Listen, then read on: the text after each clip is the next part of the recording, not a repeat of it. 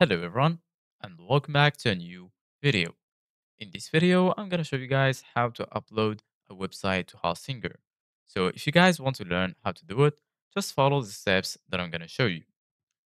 As you can see guys, I'm right now in this website where I found a guide that explains everything about how you can upload the website on Hostinger.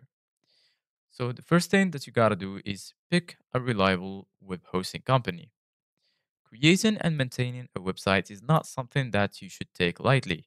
It's crucial to pick up a top notch web host that has all the key features to kickstart your project.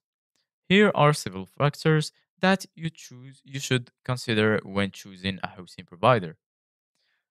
Live support. A good hosting service should have a team of experts who can help you at any time.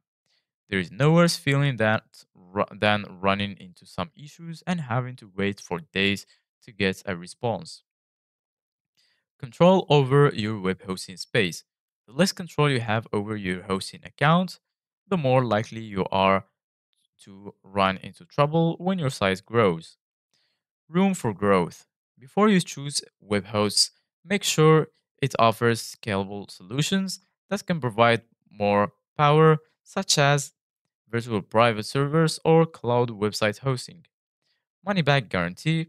Nobody likes a bad investment. So make sure to check for a refund policy. Hostinger, for example, offers a 30 day money back guarantee for all its hosting plans, giving you peace of mind during the trial period. Choose your website's upload method.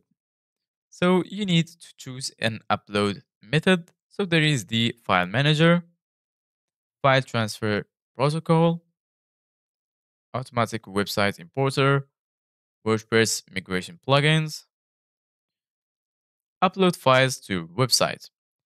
Using the file manager, you can log in to Hostinger's HPanel and navigate to File Manager. Once you're in public HTML directory, select the Upload Files icon from the upper right menu. Select the website's archive file on your computer and upload it to our server. Right click on the uploaded file and extract the archived files to the public HTML folder. You need after that to import your database.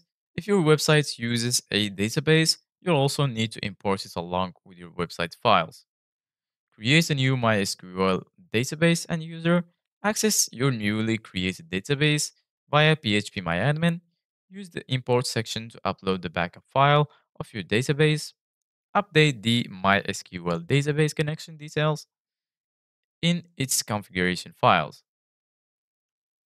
Then you just need to check if the website works. So this is it guys for today's video. Thank you guys for watching. See you guys in the next video.